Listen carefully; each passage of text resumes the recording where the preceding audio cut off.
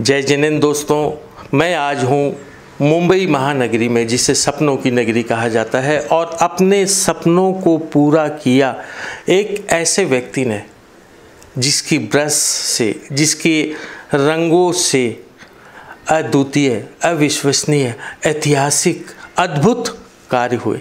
नमोकार मंत्र को अपनी पेंटिंग के द्वारा दस करोड़ बार लिखना, ये मामूली बात नहीं है। और वो व्यक्ति हैं जैन कमल।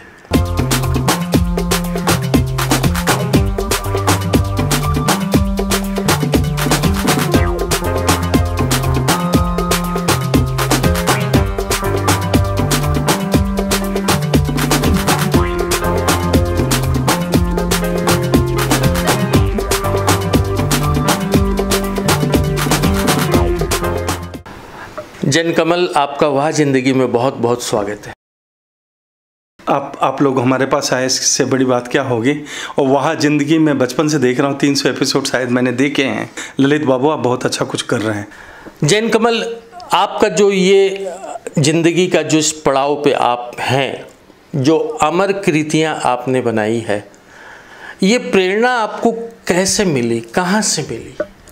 ये मुझे पता नहीं है टाइम्स ऑफ़ इंडिया ने 20 साल पहले मेरे बारे में लिखा था कि 20 करोड़ से ज़्यादा लोग अखबारों के माध्यम से 60 से ज़्यादा न्यूज़पेपर मैंने डिज़ाइन किए हैं।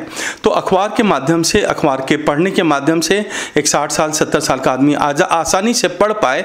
इस प्रक्रिया में मेरा एक बहुत बड़ा शोध रहा है और मेरे शोध से दस हज़ार से ज़्यादा लोग इस देश में काम कर रहे हैं। उसमें अभी हाल में सन्मार्ग भी एक अखबार है आपके यहाँ से, जो जुड़ा हुआ है। ये करते करते मेरे मन में आया कि मैं अक्षरों से और क्या करूँ? जिसमें आध्यात्म आ जाए फिलोसफी आ जाए जैनिज़्म आ जाए। जैनिज़्म को मैं बाद में देख रहा हूँ, मैं फ्यूचर ऑफ़ आध्यात्म आ जाए, इसके ऊपर काम करना शुरू किया। इस भावना को लेते लेते मन में एक विचार आया, विचार आते आते जब मैंने कार्यान्वित तो सात साल के बाद इस रिसर्च को करते करते मेरे मन में कुछ चीज़ें उमंग आई और जो विश्व में अपने आप में अनोखी दुनिया खड़ी हो गई, इसका मुझे अंदाज़ा नहीं था। आपकी नज़र में सबसे अद्भुत पेंटिंग कौन सी? ऐसा व्यक्तित्व जो हिंदी को लेके, हिंदुत्व को लेके चल रहे हैं, वो हैं आचार्य श्री विद्यासागर जी।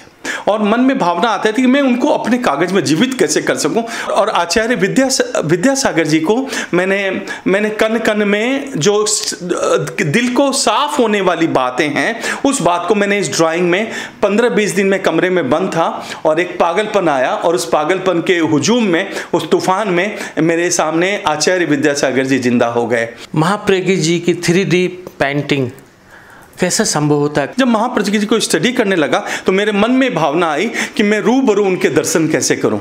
और मेरे पास वो हों और मैं रोज उनको देख पाऊँ। इस भावना को लेकर के मैंने उन पर काम शुरू किया विदेश में गया और उसके टेस्ट पीस करते करते मैंने थ्री में एक कल्पना की। आपने अपने जीवन में आज तक क्या किया? Sunday Observer Indian Express Debonair जैसे ग्लैमर मैगजीन का मैं चीफ रहा। सेंसर बोर्ड में दस साल जुड़ी रहा। सात हज़ार सात से ज़्यादा फ़िल्मों में मेरी साइन है। जैन कमल अभी आपने कहा कि मेरा पागलपन है मैं ए बी सी डी नहीं जानता। तो वो व्यक्ति ब्रह्मलिपि को कंप्यूटर में कैसे आविष्कार कर सकता है? कैसे आपने इस काम को किया? ये बड़ा सरप्राइज़ हुआ। आचार्य सुनील सागर जी एक दिगंबर साधु हैं, सन्मति सागर जी के ग्रुप के। उनसे मैं मिला था। वो न लैपटॉप देखते हैं, न लाइट में रहते हैं, न ट्यूब लाइट में रहते हैं, न कैंडल में रहते हैं। उन्होंने मुझे मेरे वो अंगूठे वाली बात हुई उनके साथ। उन्होंने बोला एकलव्य वाली बात, आप मेरे पास में रात के तीन बजे आओ, मैं तुम्हें ब्रह्मी लिपि सिखा दूँगा। ऐसा भास्कर ने भी बिहाल में लिखा है। तो तीन बजे एक एक साधु, इतना बड़ा साधु, पचास लोगों का संग है और उनके पास मैं तीन बजे गया तो छत के ऊपर वो बैठ के स्ट्रीट लाइट में मुझे ब्रह्मी लिपि लिखने के कुछ ज्ञान दे दिए। उसके बाद मैंने, मेरे मन में आया क्यों नहीं मैं ब्रह्मी लिपि पर फ्यूचर में स्टैंप लाने वाला हूँ। फ्यूचर में मैं ब्रह्मी लिपि को इतना सरल बना दिया हूँ कि आठ साल से लेकर 50 साल के बच्चे बच्चियाँ समाज उसको देखें और वो दो मिनट में सादे कागज़ पे लिखना सीख ले। इतनी सरलता पे मैंने उसको खड़ा कर दिया है। मैंने उस लिपि के कुछ अक्षरों को सिर्फ़ नंबर जाने के पाँच लाइन को मैंने कीबोर्ड पे कन्वर्ट किया। साढ़े चार साल लगे हैं मुझे लेकिन आज वो एक मेरे पास बहुत ही खूबसूरत अमानत है। जैन कमल आपका बहुत बहुत धन्यवाद। आप वहाँ ज़िंदगी में शामिल हुए। आपका बहुत बहुत धन्यवाद। मैं वहाँ ज़िंदगी में शामिल नहीं हुआ। मुझे लग रहा है कि मैं वहाँ ज़िंदगी जब पैदा हुई थी तब से मैं साथ हूँ। वहाँ ज़िंदगी आने वाले समय में और समय बर्बाद ना करे और डायमंड की तरह जी टीवी और बड़े बड़े सोनी टीवी की तरह चमके और आगे आए और बड़े बड़ी प्रोजेक्ट्स को लेके आए और धमाल करे वर्ल्ड में। ऐसी मेरी शुभकामनाएँ है। ललित बाबू आपके साथ और आपके पूरे टीम के साथ।